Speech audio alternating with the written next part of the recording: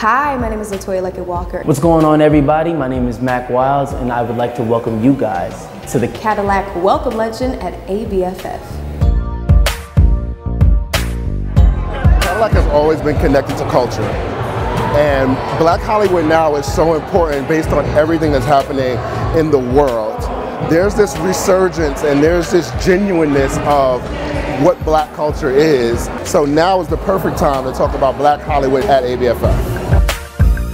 Right now is such a a big time for black women specifically in entertainment. I mean, because I think Hollywood and music as well is starting to understand the influence and the power in, in art that black women create.